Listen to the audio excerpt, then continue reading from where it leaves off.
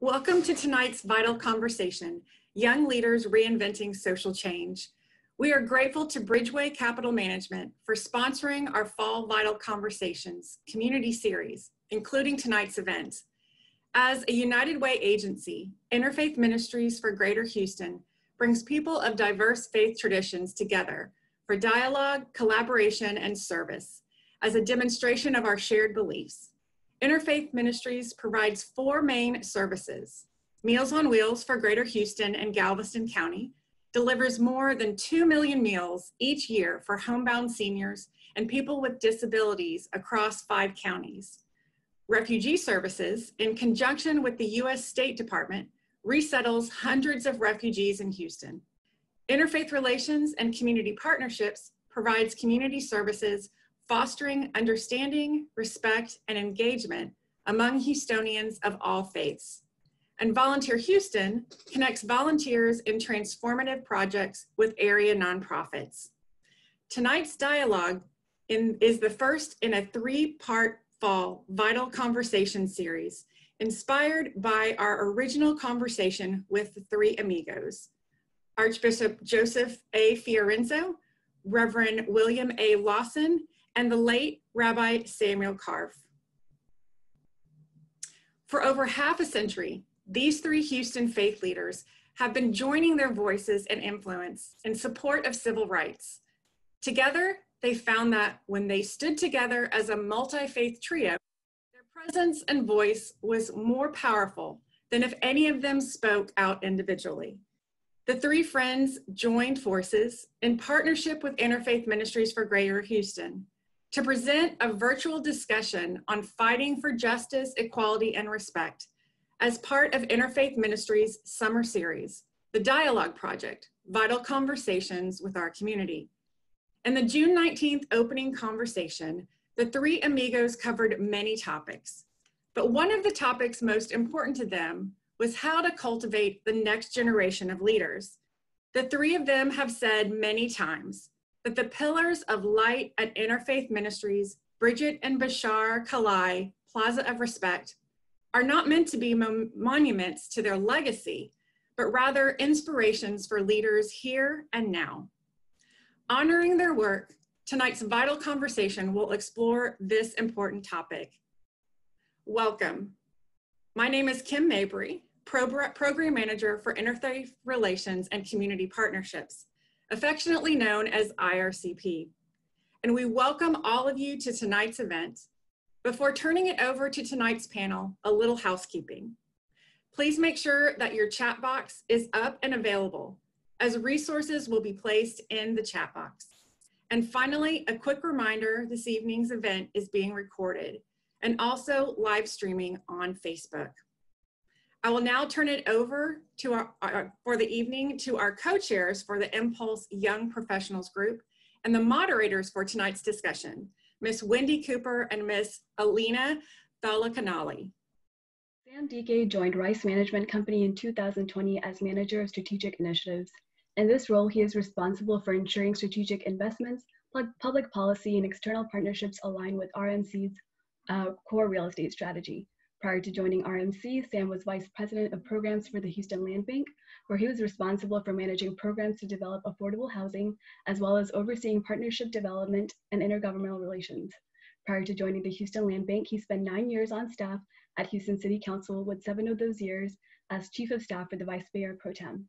Sam received a BS in Political Science from the University of Houston and is a Texas Legislative Intern Program alum. He was appointed by Houston City Council to serve on the Board of Directors for Harris County Improvement District number 23 and is actively involved in community and economic development efforts around Houston, serving as a member of the board of directors of local nonprofits, uh, TXRX Labs Inc., East Ender Maker Hub, Architecture Center Houston Foundation, and Truly Home Inc. Victoria Hart is a native Houstonian. She is also a proud alum of Texas Southern University, where she received a Bachelor of Arts degree in English Currently, she is pursuing a master's degree in public relations at the University of Houston. Her focus throughout her career has been to serve people. Previously, she has worked with local nonprofit Neighborhood Recovery Community Development Corporation as Business Relations Director, overseeing their loan program, uh, Community Loan Center of Greater Houston, an initiative implemented to combat predatory lending in the community. She currently serves as community coordinator for HEB. As a new addition to the team, she works to bridge the gap between HEB and the local community, engaging in service-minded efforts throughout the year. Further showcasing her commitment to the Houston community, Victoria serves as Vice President for the Houston Area Urban League Young Professionals and is a member of the Texas Southern Alumni Association, Houston chapter, um, Houston HBCU Alumni Association, and the Greater Houston Black Chamber, where she is part of their leadership program, Houston Black Leadership Institute. Trishna Narula is a Stanford medical student who took time off from her classes and rotations to work full time in the real world of public uh, health. As a native Houstonian and Rice alumna, she returned to her hometown in 2017, first as an intern in public policy with Senator Carol Alvarado, and then as the inaugural fellow in population health at Harris Health System, which serves a community of nearly 300,000 patients, 90 of which are uninsured or underinsured, and most of which are from minority groups. She has also been influential in the field of organized medicine and health advocacy, having served as elected speaker for over 50,000 medical students in the American Medical Association and appointed counselor on several of these physician committees, as well, as well as authored resolutions that were influential in establishing new state laws. She has an uh, academic background in psychology and epidemiology and plans to uh, pursue residency in psychiatry in the future, building a synergistic career in clinical medicine and the social determinants of physical and mental health. Um, and last but not least, Raj Salhotra is a native Houstonian and is executive director of Momentum Education. He attended Rice University and graduated in 2013 with majors in economics and policy studies. After Rice, he joined Teach for America and was placed at Yes Prep Southwest, where he taught pre-calculus and AP statistics. While at Yes Prep, he co-founded One Jump, an educational technology nonprofit that connects high school students to enrichment opportunities. After Yes Prep, he attended Harvard Law School, where he focused on researching public policy issues and representing tenants with uh, being evicted from their homes. Also during law school, he started with uh, students with Ambition Go, Swag to College, a mentorship program a mentorship nonprofit that provides underserved high school and college students mentors to help them get to and through college. After returning in 2018, Raj deferred a job with Baker Botts to run for Houston City Council at large one. He secured a spot in the runoff, however, ultimately lost to an incumbent. Now Raj has, has launched Momentum Education, which combines One Jump and to College to serve under-resourced high school and college students. Um, and we can get started with the first question. Can you each tell us a little bit more about yourself and what led to your current positions? Sam, can we start with you? Oh gosh, I thought the bio would have done that. um, I am. Uh, I'm actually not a native Houstonian. I was born in Tyler, Texas, uh, but I got here as soon as I could. I've lived here for the majority of my life.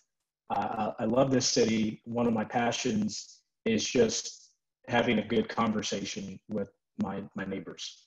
I love people. I love community organized efforts, and um, uh, I, I, I just love everything about Houston. I call this place a land of opportunity because I truly believe here in Houston more than anywhere else in the world, uh, and anywhere else, surely in the United States, you can make something of yourself.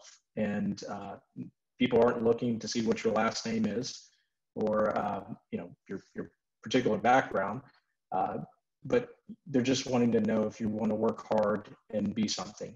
And uh, that's why I call this land of opportunity. And uh, I, I want to make sure that I'm working to keep it that way.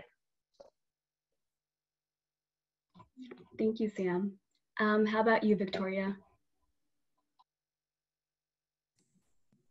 Good evening, everyone. Uh, once again, I'm Victoria Hart. I am a native Houstonian. So I was born and raised here in Houston, went to all schools in the Houston Independent School District, graduated from the high school for the performing and visual arts. Um, I grew up on the southeast side of, of Houston, so um, the culture, uh, everything about that part of town uh, has made me who I am.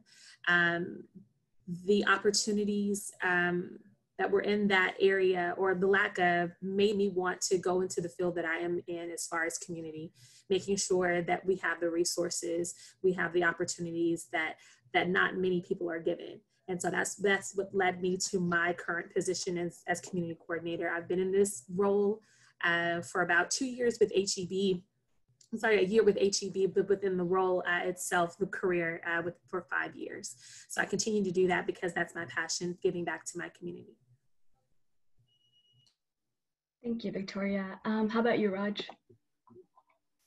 Yeah, no, thanks again um, for having this and, and for everybody for joining us. Um, yeah, really echo a lot of what was what was said. Um, you know, for me, I think, I think, you know, becoming a teacher, I think really kind of showed me the both the vast inequity um, in the city, but also you know the incredible potential. Uh, kind of what Sam mentioned, and so I think for me, it became you know how can we try to leverage um, people's innate strengths and, and communities sort of um, endowments to try to you know ensure folks can be successful. And then i think the sort of last piece of that came kind of during hurricane harvey when i saw like everybody in the city really came together. And i'll never forget um, you know going to uh, nrg and seeing like more volunteers than were actually needed there.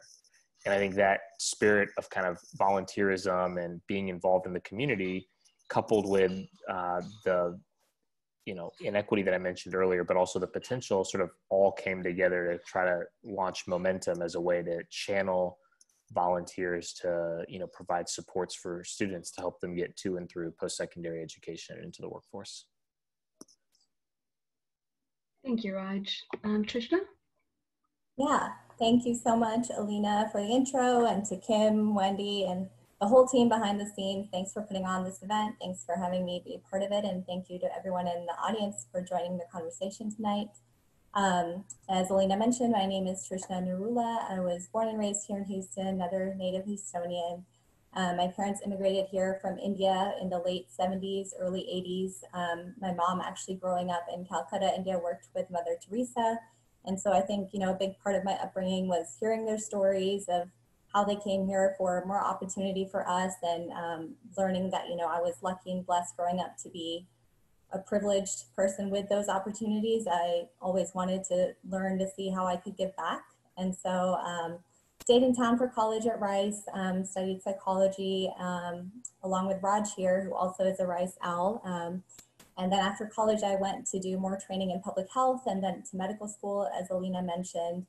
And then after finishing that and finally being done with school, instead of taking the more traditional path of going on to clinical residency, I just really wanted to dig deeper into public health and population health. And it felt like a way to make a difference on a larger scale for me. Um, so I came back home to Houston, um, dabbled in public policy for a while, and then found my way most recently to Harris Health System um, as a fellow in population health. And so that's a little bit about me and my journey so far.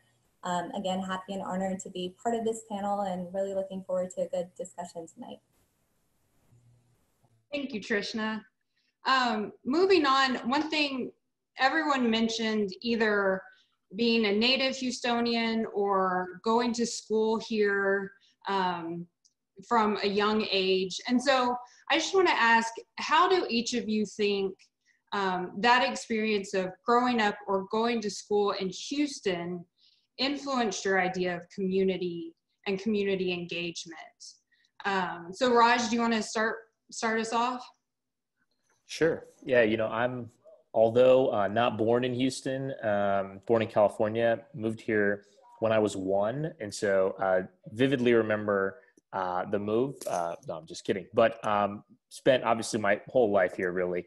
And I think for me, it has just become um, and I think I saw this sort of even more um, on the campaign this past year. And, and, and I think all of you uh, will appreciate this. It's just like this city is so diverse and has so many people from all walks of life. Um, and yet, and, and although there is um, real residential segregation based on income and uh, certainly race and ethnicity, and that's definitely something that has got to be addressed um, at the same time, I do feel that there is this unifying sense of being a Houstonian, which um, isn't necessarily the case uh, all across the country. Certainly not the case in a lot of cities where folks are sort of in and out, which is, I think, much less the case here in Houston. Um, and so I think that seeing that sense of community, seeing that sense of folks willing to kind of help each other, you know, this is a city that has always kind of done the extraordinary from you know being started basically on a swamp to you know going to the moon to everything else in between. And so i think it's that sense of possibility that um, has always excited me. And i think that kind of ability of folks to kind of come together to achieve a goal that seems tough but but is actually very doable. And i think that's what sort of drives me every single day. Thank you. Victoria what about you I think for me, uh, growing up where I grew up, I knew all of my neighbors. um, and my neighbors knew me. Uh, they knew our family. Um, we just had that that collective community. And then even outward uh, with the civic associations, my parents were part of those. Um, so we just had a really great sense of community. Um, and then as I grew up, um, post college, I think um, I became more more aware of how diverse, like Raj mentioned, like how diverse Houston actually is. Um, I think when I was working uh, for a bank, I didn't realize that um, certain areas just had certain niches of uh, cultures, um, which makes it so awesome to be a part of a city that has that many different ethnicities and cultures and uh, and races all together just in this huge melting pot.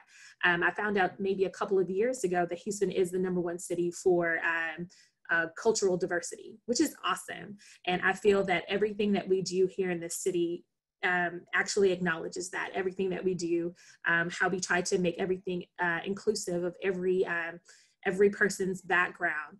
Um, so that's what that's what I feel most most about how growing up here in Houston, and then of course as an adult, what I see now in Houston.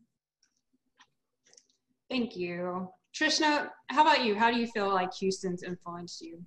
Yeah, I think Rod and Victoria really hit the nail on the head. I think one of the most celebrated, um, loved, exciting things about Houston, that's also one of my favorites, is its diversity. Um, you know, growing up in Houston, you have friends from all sorts of backgrounds, cultures, religions, political affiliations, and that really leads to just a lot of learning um, and a richer life, I think.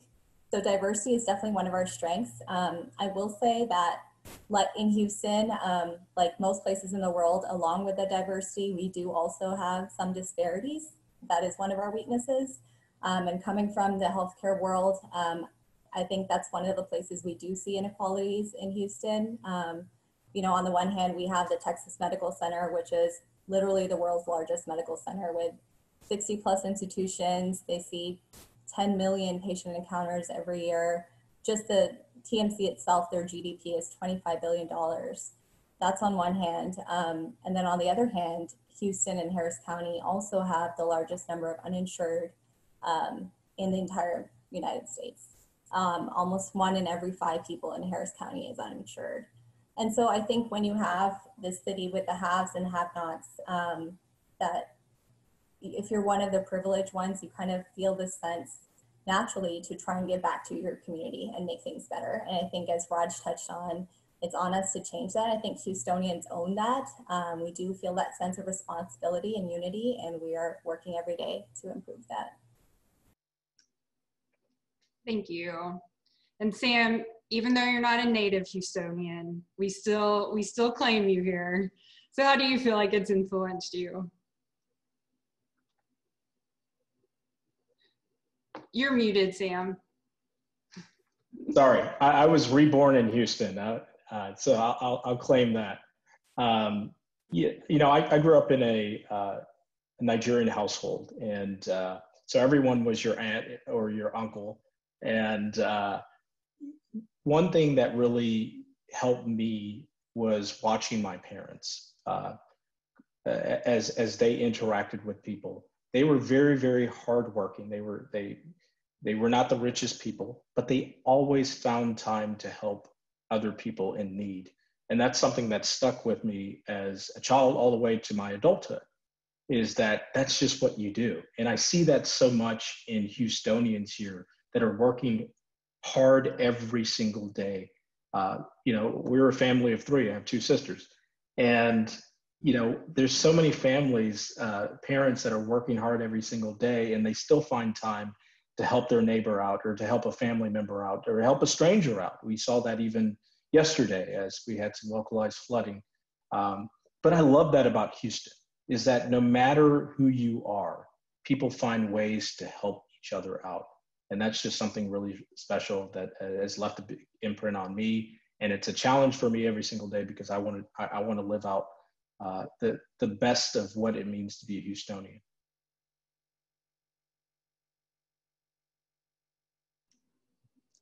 Thank you. And now we'll, we'll move on to the next question. Uh, Alina, do you want to set us up with that one? Sure. Uh, what do you see as the greatest obstacles to creating equity and justice in our community? And how can we, as young professionals, dismantle these obstacles? Um, it's an open floor, so whoever wants to start.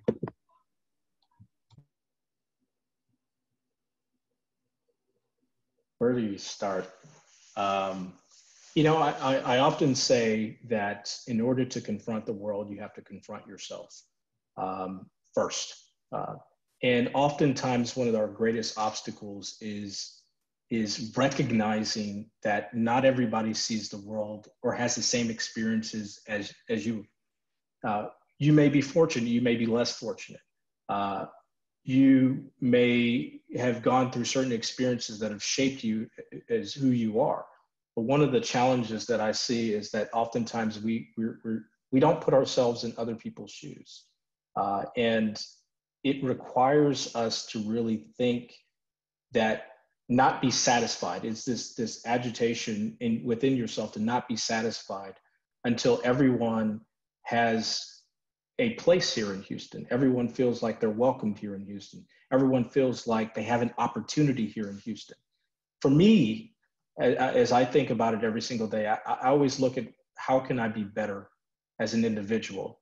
Because I know me being better as an individual is allows me to offer the best to other people and to look at things in other uh, in other people's shoes and to so I, I, I often think about that self-reflection is so important uh, and we often don't do that as individuals. We get kind of tunnel visioned into our own lives instead of stepping out of that and saying, you know what, there are folks that I, I, I haven't had the opportunity to engage with here in Houston or communities that haven't had it. Just take some time, get away from the computer, get away from social media, drop your phone, and just experience Houston, experience other people take the opportunity to have a conversation with people. And that's just, uh, just my thought is I, I think it's, we need to confront ourselves and ask ourselves, hey, you know what? Am I just sitting in my little tunnel, my, my little bubble here? Or is there an opportunity for me to engage people and, and find out what I can do to be a better Houstonian, what I can do to contribute to helping someone realize their full potential?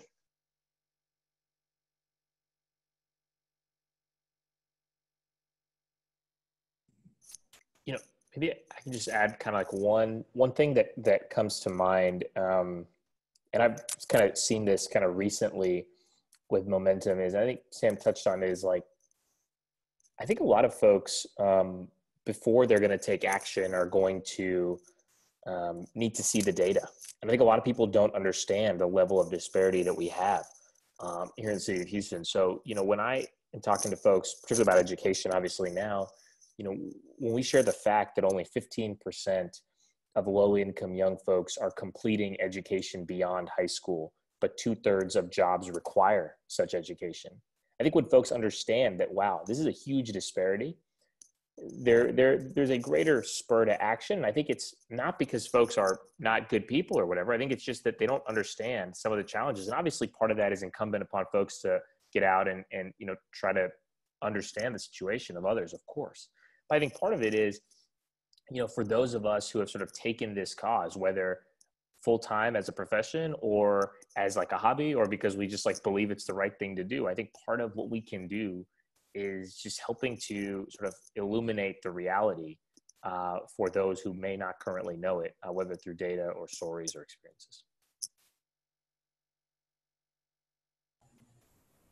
And just to piggyback off of that, um, I think that I totally agree with everything that's been said so far. And I really like that Sam started with, um, you know, the biggest obstacle sometimes we have is ourselves. And I think that's totally true. Our own thinking, you know, thinking that how can one person really change the world or what can we do? We're kind of helpless and um, how will anything we do change the status quo? I, I don't think that's true. I think all of us are powerful. All of us can make a difference. Um, I saw a question in the panel just come up that we might get to in more detail later, um, but about voting. I think it's really timely to talk about this. Um, yesterday was National Voter Registration Day. Um, obviously, the presidential election is coming up. The deadline to register in Texas is, you know, less than a couple weeks away. Um, and a lot more people have registered already this year than before. Um, but we know that, you know, tonight is about young leaders affecting change, and historically, young people um, are very passionate about a lot of issues. But as you know, someone just asked in the chat, they often don't come out to vote. Um, the last presidential election, only half of the electorate um, eligible to vote between 18 to 24 years came to vote. And it's much, much less in local elections, um, which still matter a lot.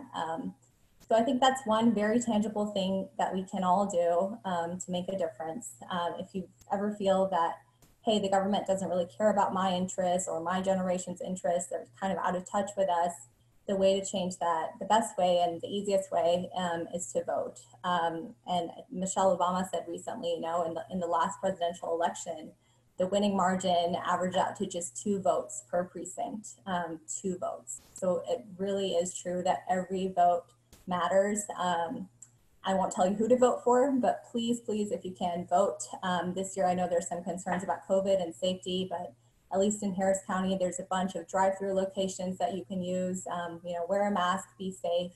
But if you can, please exercise your right to vote. It's free and it really does make a difference.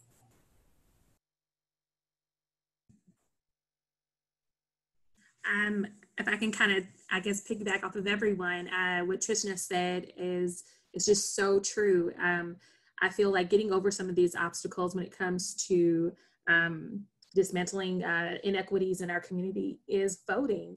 Um, we have to not only preach it, we have to actually do it. And so I think um, when, um, when I've been, I've been working with the Houston Area Urban League Young Professionals for the past two years, and every year we we push we push not even not so much for just the not just for the presidential election, but also for the local elections because we know that when we vote, we're voting for the mayors, we're voting for the city council, and these are the people that actually represent those neighborhoods, uh, represent um, those areas, and if those people's views don't align with what you feel or what you feel the change needs to be, then vote for someone who will. It's really that simple. And I feel that a lot of people don't exercise, don't take that opportunity to actually get out and vote and, and elect the people that are going to stand for your for your platform, the things that you want to see change.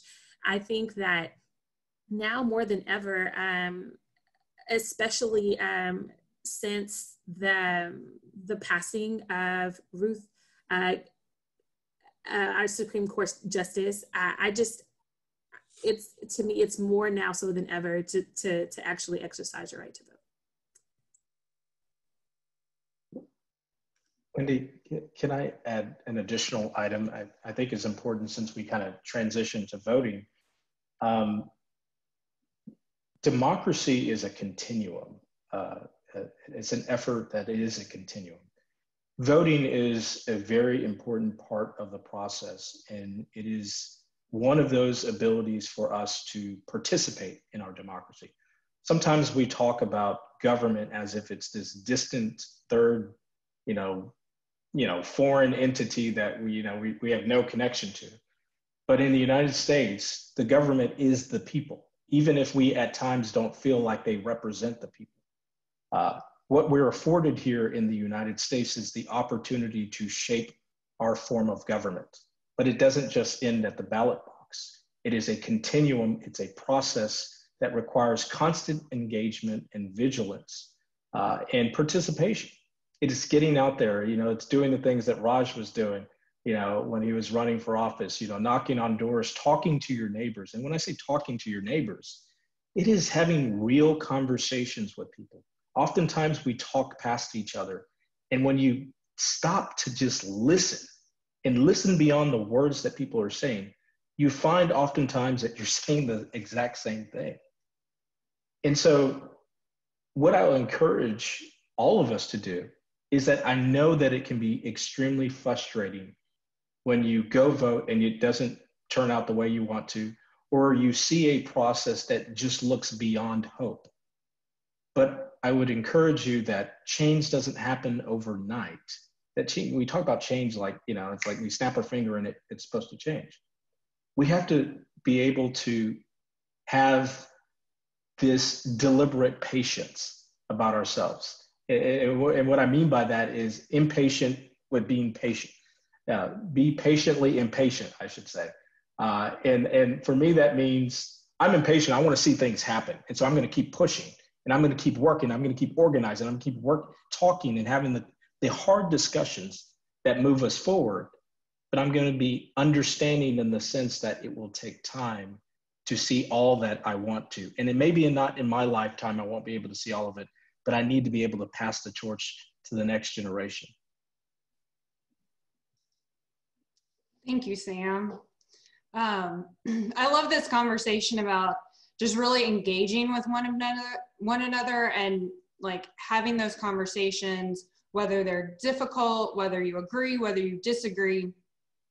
So I, I want to try to turn it a little um, because yes, we want to have all of these face-to-face conversations, but also our generation has the ability and the knowledge to use technology to help these things too, to advance this mission in ways that prior generations just weren't able to do because they didn't have access to the same technology.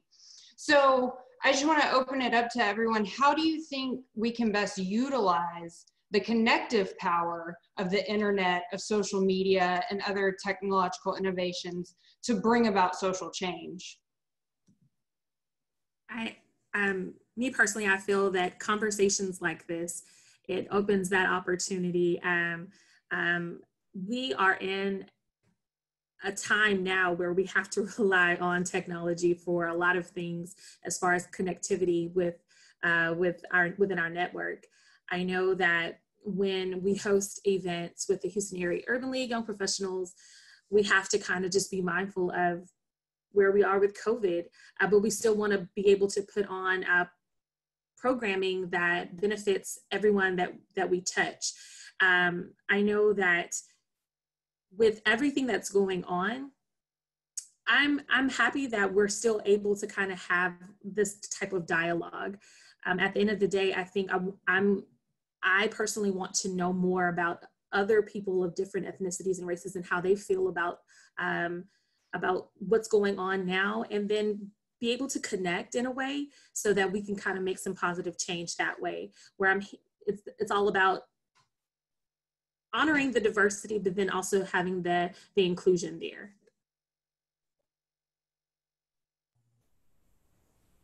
Totally agree with Victoria. Um, I think, of course, Wendy, you alluded to this um, in the introduction at the beginning. Um, social media and technology is definitely here to stay. Um, it is a double-edged sword. I think we are all very thankful it exists during the pandemic, it's helping us stay connected and keep in communication, keep working for a lot of people, um, talk to loved ones across the world that we can't reach by travel otherwise um, during COVID. Um, definitely to be able to find any information at our fingertips 24 7 online. Um, I think I've used social media more than usual this year um, from a public health perspective, just trying to spread awareness and information about COVID. And I've seen a lot of other physicians and epidemiologists kind of doing the same thing. And I think that's been helpful, um, at least for me. Um, at the same time, you know, on the other side of the coin, there has been a lot of misinformation um, from a health perspective going viral, really, pun intended, online. Um, that is, you know, hard to control, damaging, um, and sad in many ways um, when people believe things to be true that are not, that could affect their health. Um, there's studies showing that, you know, almost 30% of YouTube videos that are watched around the world um, about COVID are false or contain false information. Um, and that's reached, you know, 60, 70 million people in the world. And that study was from March. So you can only imagine now in September um, how prevalent that is. So I really think that at the end of the day, Victoria said like the phrase being mindful. I think that's key. Um, nowadays, you know, everybody, whether they realize it or not, is really a micro influencer. Um, we're used to having one-on-one conversations with people or um, you know dinner party conversations and now things that we post online can be viewed by hundreds of thousands of people across the world so i think just being mindful when we're publishing and sharing things on social media knowing that it's going everywhere and then also being mindful when we're viewing and consuming um, social media realizing that for the most part nobody's fact checking things um, and even more importantly you're usually seeing only part of the picture. You're seeing the pretty part, the perfect part, the filtered part, not the full reality. Um, and that impacts, you know, not only physical health potentially with COVID, um, but also your mental health um, and thinking, hey, my life sucks. Everybody else is out there having a great time. And that's just not true. Um, you know, again, it's a double edged sword. There's, speaking of mental health, great benefits that some people feel comfortable sharing their stories and struggles um, with strangers that they wouldn't be able to otherwise and people realize they're not alone um, that there's you know more people in the same boat so again there's good and bad and i think we just have to continue to be mindful um, when sharing and when consuming social media and try and maximize the good and minimize the bad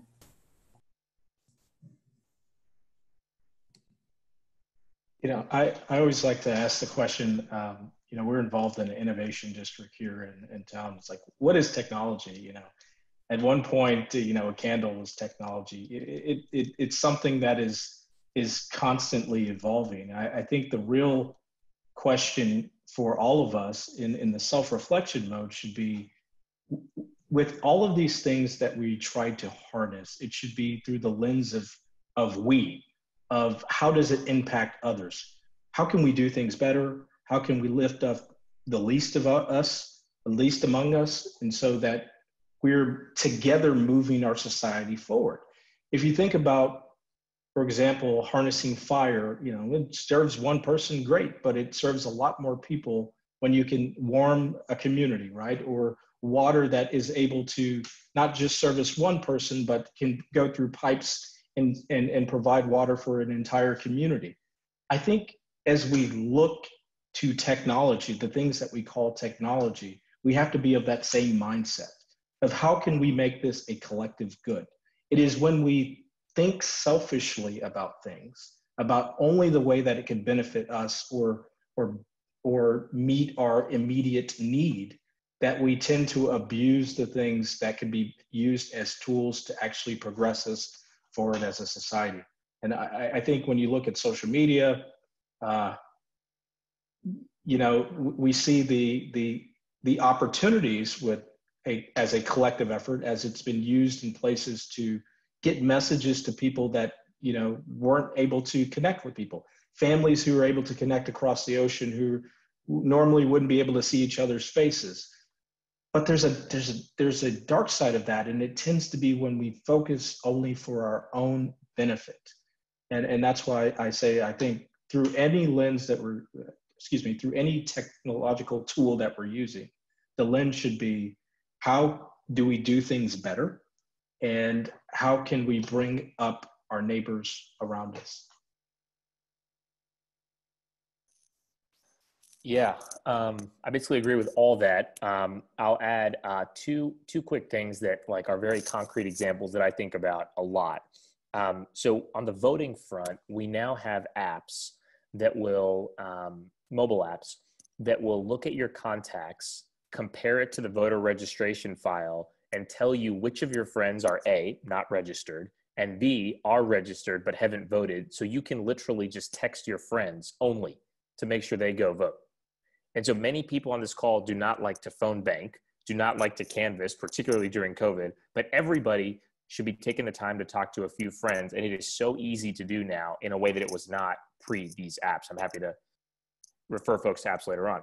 The second thing is like at a minimum, you know, technology has made it so easy to, uh, you know, I think about this in the education context, uh, support students who you may not necessarily see on a day-to-day basis. So by way of example, everybody in this call could give a career presentation to high school students who have not yet heard of what their, that career might be because maybe nobody in their community has gone uh, you know into that career for example or everybody on this call could review a college uh, application essay, for example, because the high school has 300 kids per college counselor, and the college counselor does not have the wherewithal to review every single essay, as is common in very uh, uh, sort of uh, uh, higher income high schools. So those are just things that technology has made super easy. And so I think what I think about is it is now much easier to volunteer and to get involved and to enact social change because uh, the sort of barrier to entry, so to speak, is dramatically reduced from where it was before. Wendy, I just want to add one quick thing I thought about that um, I've noticed a lot this year, especially is um, I feel like a lot of people, um, especially in 2020, feel like we live in a divisive world at times nowadays. Um, and it seems a lot easier for people to type things out on a screen to a stranger that they would probably never say to that person face to face because it's not as kind as they would be face to face. And that's not just our generation or young people, anyone on social media, I think, myself included, um, should always be mindful that, you know, the golden rule applies in the World Wide Web too, in the virtual world be kind, talk to others with the respect that you'd like to be given. Remember, there's a living human being reading whatever you're writing on the other side of the screen. Um, you know, if you're having a conversation you're really passionate about, if you're trying to advocate for change or fight for something you believe in, that's fine. Um, just be nice and polite and patient. Um, try to put yourself in their shoes, see where they're coming from, find common ground. Um, you probably have more similarities than you do differences and you know, that's not only the right thing to do. Um, if you're really trying to change your minds about something, it's probably going to be more effective that way too. So that's something I constantly remind myself, and I think, you know, all of us could do a better job of. Thank you, everyone. That was great to hear. Um, and then on the other hand, as young professionals, sometimes it's overwhelming to know that a lot of the systems and policies and companies and organizations that were created before we were even born have so much power and it can feel like history is something we must work against rather than build upon. Do you have any words of wisdom on how we can change certain elements in society for good?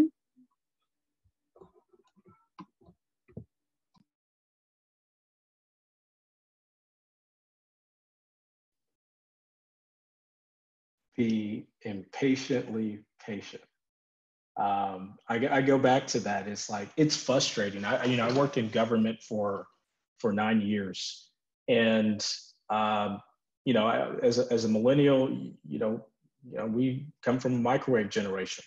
Uh, there are things that we just we don't want to wait around for. Like it's like we know what to do. Let's let's just get it done. You know, and what I realize is that nothing great happens overnight. It just doesn't. Um, it requires consistent and diligent work to get something done. And that's just something that we have to realize within ourselves to prepare ourselves for things that, that, that could be a fight. There, you know, as you mentioned, there are a lot of systems that have been in place for long before we were here uh, and, and on this earth. I like to always say just because something exists doesn't mean that it's the best way to do things. Uh, we have the opportunity to shape our future, but we don't get to shape it if we get frustrated and decide not to participate in, in, in doing that. And so I love just being impatiently patient uh, and, and, keep pressing forward uh, and, and come up with ideas. I mean, we're blessed with the the the ability to uh, you know uh, you were young and so we don't tend to be as jaded you know. Even if one day we're jaded the next day we're like okay i got another idea you know and and we're ready to go again. So let's use that to our advantage and keep keep pressing forward. Um, i just you know it, it is frustrating. I, I definitely want to acknowledge that. It is frustrating to see things the way that they are because we know that they can be better uh, but they don't get better by us just complaining about it, right? It's like, oh man, the house is dirty. Uh, what should I do? Well, I get I get up and I do something. It may not be cleaned in that minute, but if I keep at it, it's going to get cleaned. And we have an opportunity no matter what the obstacles are, no matter what anybody says, we have the opportunity to shape the future that we want to see.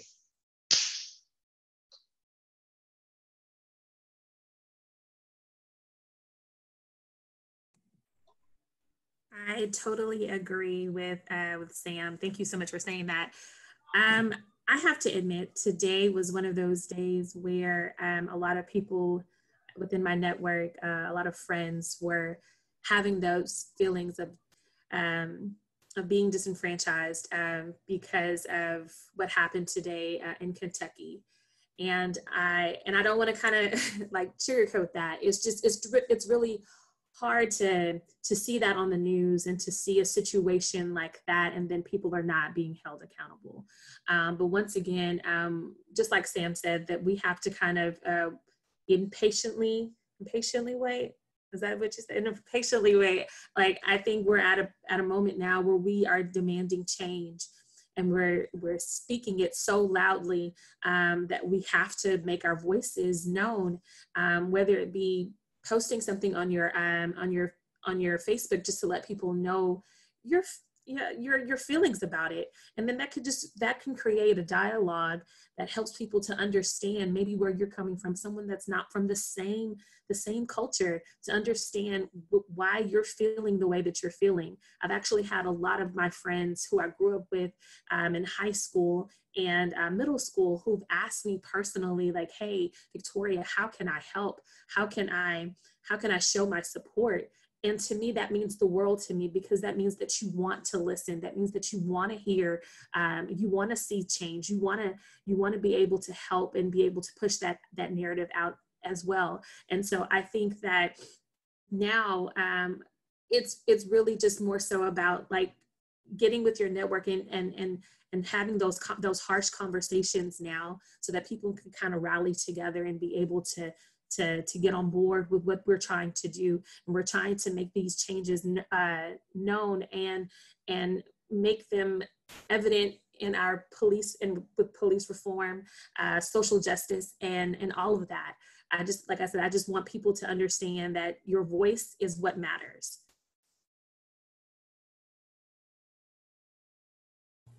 Thanks, Sam and Victoria. Um, Sam, something you said made me think about um, one of the quotes by RBG. Victoria, you were talking about RBG earlier. Um, so she said that real change, enduring change, happens one step at a time. Just like you're saying, Sam, it doesn't happen overnight. So we have to be impatiently patient. Um, and I remember my first week working at Harris Health System, it was my first real job. I had a 10 minute meeting with our CEO, Mr. Masi, at the time. And um, there was like one minute for questions at the end. Um, and I asked him, what do you think is the biggest strength and biggest weakness of this large system serving the underserved um, population of Houston?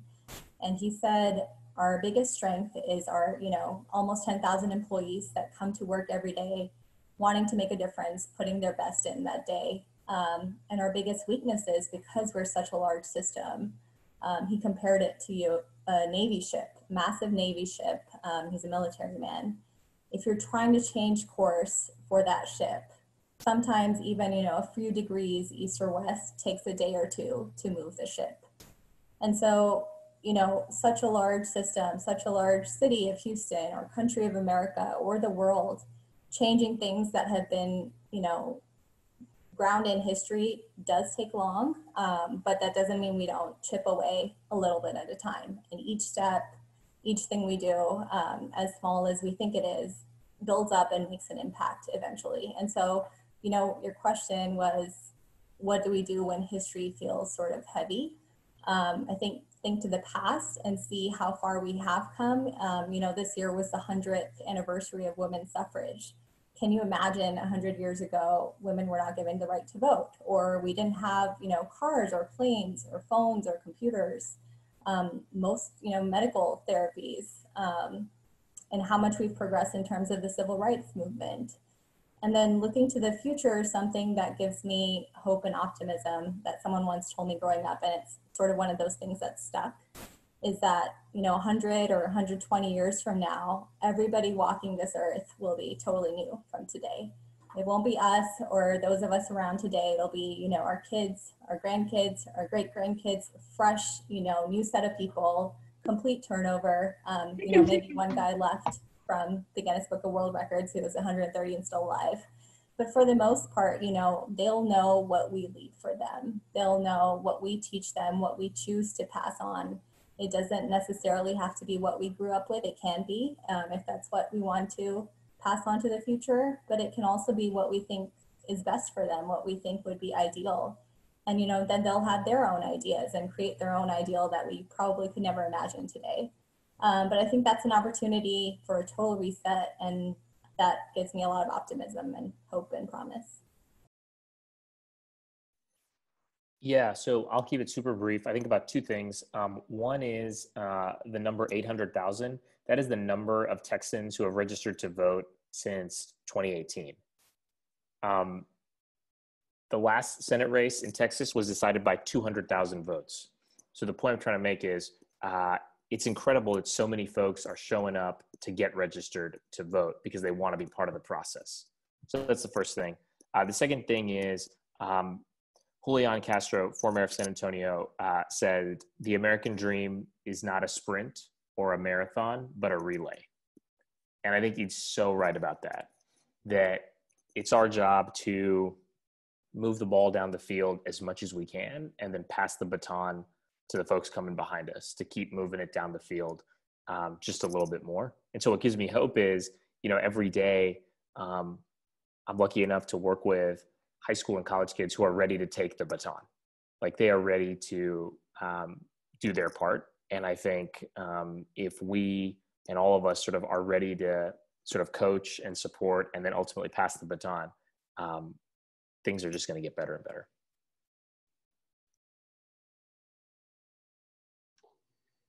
Thank you, Raj. Um, all of these have just been truly inspirational answers. Um, before we open it up for Q&A, um, we have a lot of young professionals on the call here tonight.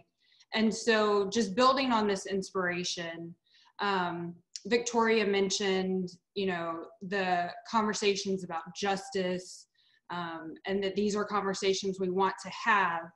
Um, but I, I want to ask each of you um, if there are young professionals who feel like they haven't necessarily reached a level of power yet um, or influence, do you have any words of advice um, for how they can have these conversations of justice within their community and within their workplaces?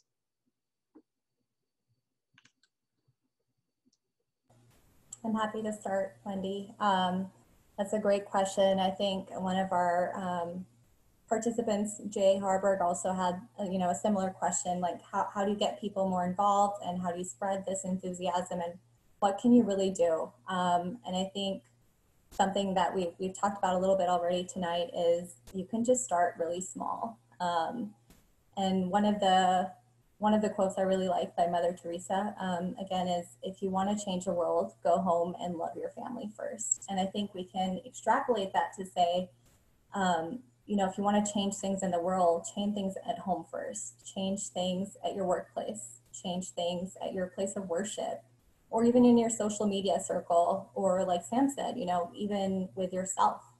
Look in the mirror, um, take a look at your own behavior, your own actions, your own beliefs, see how you can constantly improve. Um, you know, be the change you wish to see. Another cliche, but it, it really is true. Um, and like John Lewis said, you know, if you see something that's not right, if it's something not fair, not just, you have an obligation to say something and do something. And, you know, a lot of times I think um, people think that doing something or saying something means getting elected to political office or founding your own startup. And that might be true for you, but that's not something you have to do to make a difference. Um, it can be something small but still very impactful. And I want to give a quick concrete example um, because, you know, it's easy to say and hard to imagine what that could be. Um, I remember there was a story I read online um, sometime in June this year. It was in the wake of George Floyd's death, uh, a couple weeks after all the Black Lives Matter protests.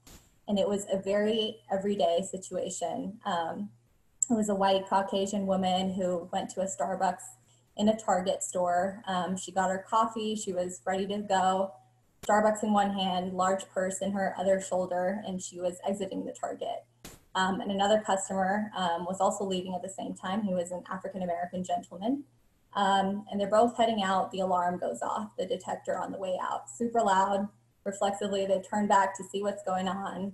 Um, and of course, everyone else in the store turns to look at them. And the lady, the Caucasian lady who was writing the story, said it seemed to her all eyes went directly to the black man.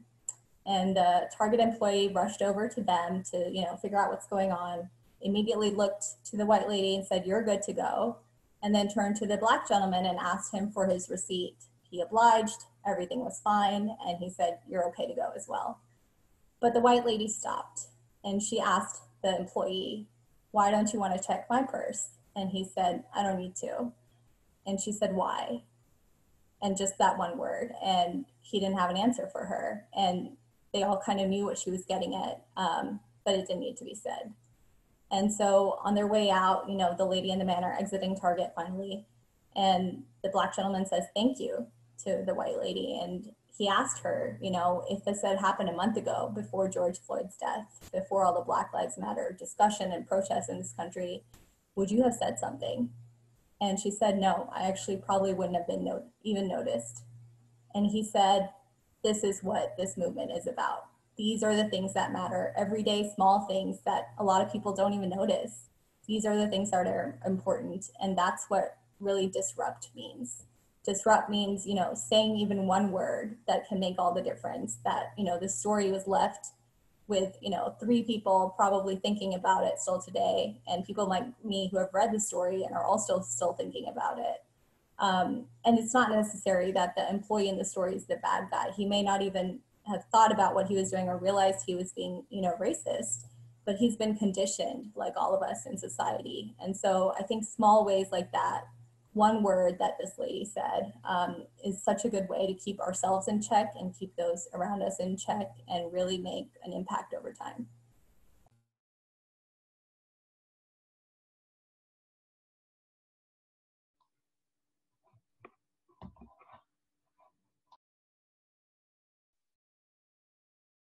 Oh. That, that, that was uh, that was very powerful, uh, Trishna. Um, I just kept thinking as you were telling that story about empathy. And, you know, in the spirit that goes with empathy and is is very powerful. And oftentimes we don't exercise that enough in our lives. Uh, and, and we don't give that to other people. And it's when we when we talk about motivating other people to be part of something. You know it, it's it's hard for folks to when they feel frustrated or they're hearing frustration from from us to feel motivated to be part of something. But it can be as simple as just doing good. You know just doing good. That what that lady did she didn't have to do she could have walked out minded her own business stayed in her bubble and, and moved on. But the fact is when we choose to confront ourselves and our potential biases, our potential, uh, our potential uh, uh, uh, privilege that we may have, it allows us to see the world through other people's lenses, to see the world through their experiences, and then to think, man, what can I do in the way that I interact with people to demonstrate to this person that their life has value, just like mine. And that is powerful.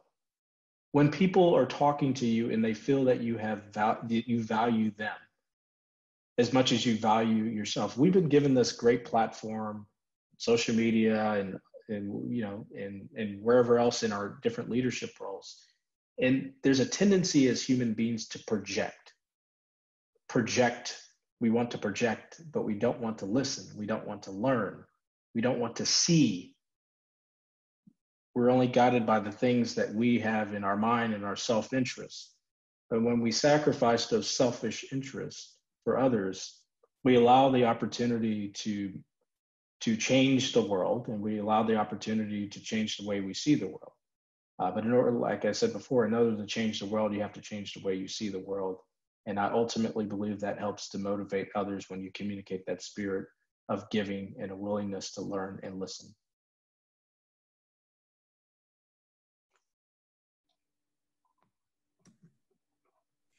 I want to um, kind of touch on what Trishna said. I think for me, um, I've just been encouraging a lot of my friends um, who don't feel that they have um, that political voice or, or they're not so uh, knowledgeable about what's going on, um, just to just kind of reach within their close network. I know for myself, um, recently we've been uh, talking about how much how much our city is impacted by the census. Um, when people are not counted, how much money that we lose uh, within education, uh, schools, uh, roads, um, uh, different programs, um, state representatives, things like that, that just need to be able to, to speak to that. I've been making sure that I had a, a, group text where I literally text everyone in my family just to ask them if they had completed the census. And that little one thing right there is just to make sure that we are being counted. I think that's something that's important. So that's something that's very small that you can do, um, but it makes such a huge impact in the greater scope of things. Um, right now, I am choosing to also just focus on um, my platform as a leader, I, I, I, won't sit here and say that I have the biggest network, but I want to make sure that uh, the things that I'm um, um, posting or talking about, I'm knowledgeable about. And I have um, some, um, I've actually read up on it and to be able to speak to it uh, so that someone asks me a question, I can answer to it. That's the time that that we're living in like i said even with the smallest network that you have you just still have an opportunity to have a voice and to be able to speak to those around you.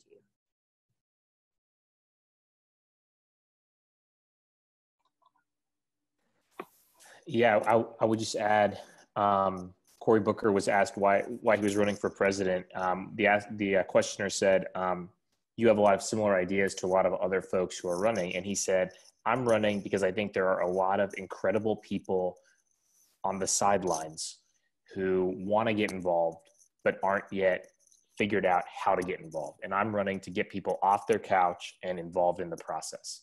And I think all of us on this call are clearly involved in the process in whatever way that looks like in your life. And so, what I just think about all the time is like Victoria said, like we all have a network, big, small, whatever.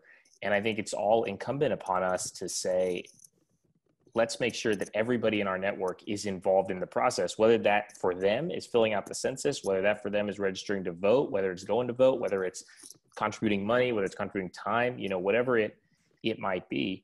Um, until we get everybody in our network on sort of involved, I think it's going to be very hard to truly have the change that, that I think we all want to see.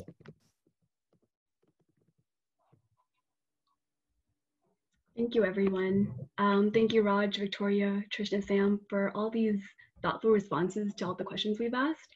Um, and I'm going to open up the floor to um, Q&A portion of our event. For many generations, people were told don't talk about religion or politics in public. How has this rule of etiquette been a detriment to society? Uh, does your generation think differently about speaking to religion and politics in public?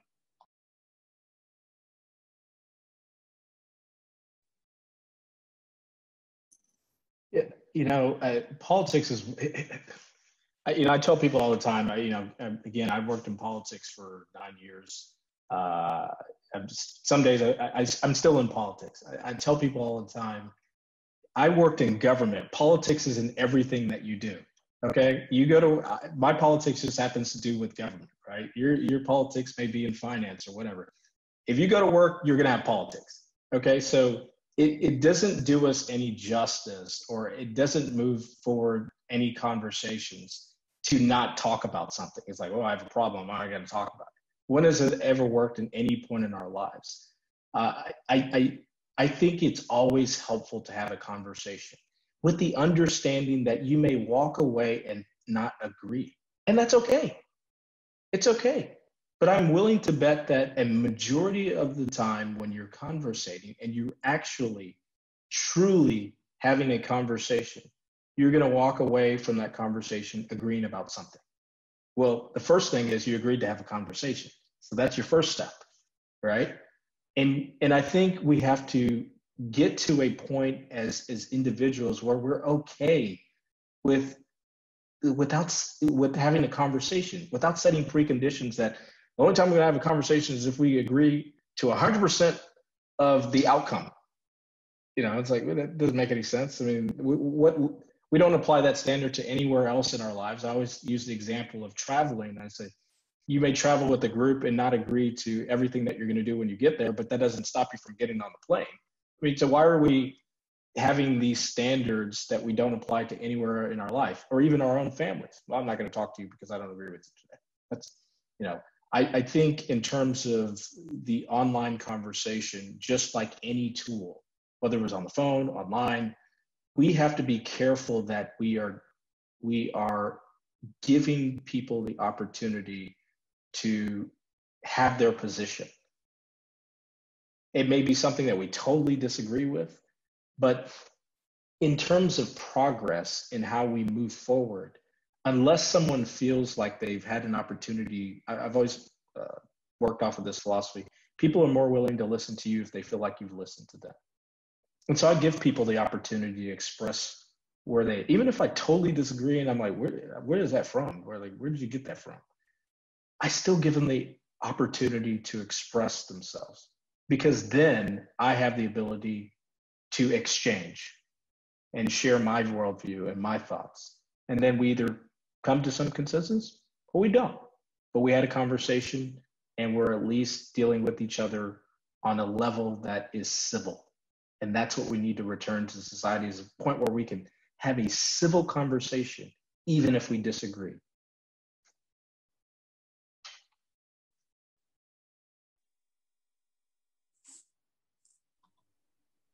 Any other thoughts? Um, sure, I'll chime in. this is Carmela Walker. Um, um, what are some outlayers of ideas that you may have aside from kind of like the same Trojan horse pathway that we've taken for years, you know, um, to, to change and to move the needle and to create probably mm. more action around um, what needs to happen. Um, voting is great. Um, you know, census is great. But I think that there's something uh, a little bit more impactful that needs to happen, p- particularly from from from the lobbyist uh, position. Um, and I saw a lot of that in Austin, and um, the influence and the impact that it has in terms of um, getting folks on committees to um, to make to, to to vote on certain items. So, what's your what are your thoughts on that in terms of coming up with maybe unique ideas to broach that subject and, and approach it from a different perspective? Well, thank you. I'll, I'll, I'll give a quick answer to that. I, you know, I, I tend to approach things from the the common person, the everyday person, and the reason why is because I, I, you know, when I think about moving the needle, I think about the the people that are, you know, they they have their head down every single day and they're working. They're not watching the news and they're not politicos like myself. You know, they may not even know who represents them. But I always say one of the things that you can do that doesn't require you turning on that news is volunteer, help do something in your neighborhood. You know somebody that is in need somewhere. There are things that we can do every single day that can help move the needle in our space. And if everyone is working to do that, uh, right? Somebody put volunteer Houston. There, there, if everyone is working to do that, man, you would see the, the world a better place. You know, I always say relationship is is, is, is essentially an exchange. It's you give, I give, you give, I give. Where it breaks down and where we see it breaking down in society is where it's you give and well, I, I get, right? The, the, the exchange is broken.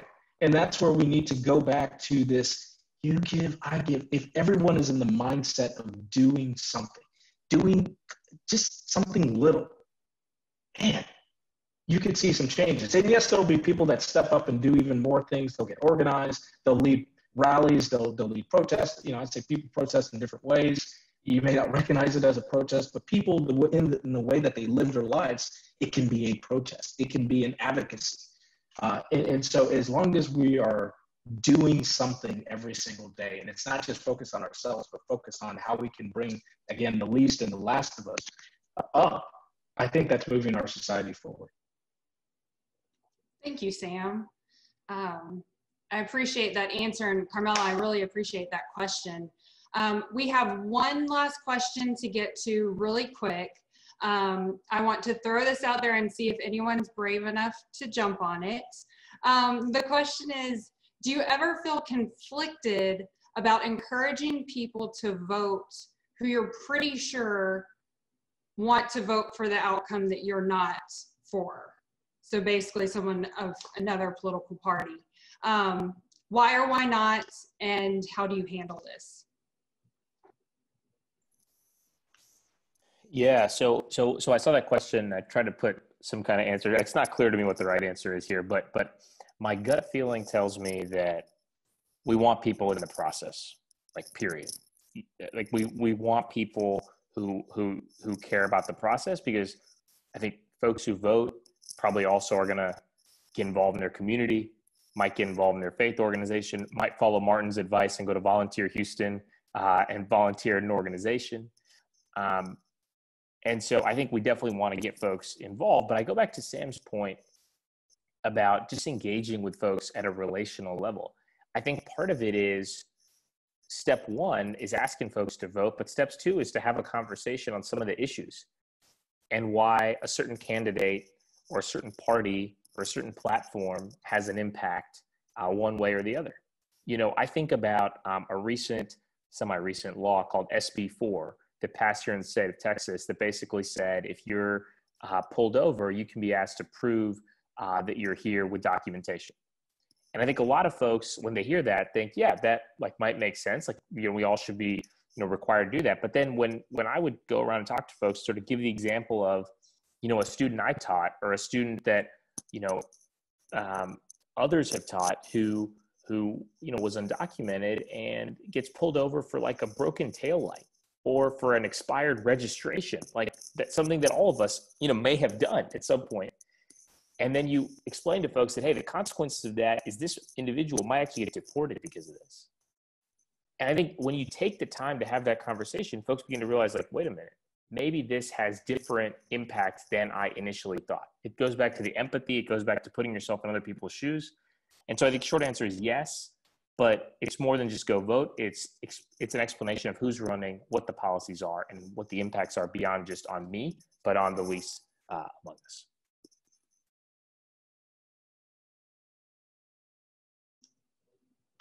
Thank you, Raj. I appreciate that answer. I feel like this conversation could keep going for a long time, but unfortunately we are running out of time. Um, I want to thank you all for participating. I'm actually gonna turn it back over to Kim and she has some final words for us tonight. Thank you all for attending this vital conversation, which is the first in a series of three conversations we are hosting this fall. Please join us on October 27th and then again on December 1st for the rest of our fall series. Our October Vital Conversations dialogue partner will be from the Fifth Ward CRC and the Center for Urban Transformation, highlighting their work transforming communities through transforming lives. Their work in juvenile diversion out of the prison system is especially impressive. On December 1st, our dialogue partner will be scholars from Rice University's Houston Education Research Collaborative, sharing their research on the state of education in the Houston area and what can be done to improve the education of many. But more immediately, we hope that you can join us next week for our program sponsored by Empower, our women's initiative from IRCP. who is hosting Megan Phelps Roper, a former member of Westboro Baptist Church, a notorious hate group known for picketing military funerals and espousing hatred and bigotry. She will share her compelling story of her personal journey of spiritual transformation, moving from hate to love. Please visit www.imgh.org to learn more about these events. To register and to support our work with a financial gift, a link is also in the chat box now. I want to thank Bridgeway Capital Management once again for being our sponsor for this evening. Bridgeway's passion and commitment for doing good here in our community and globally is deeply inspiring and appreciated.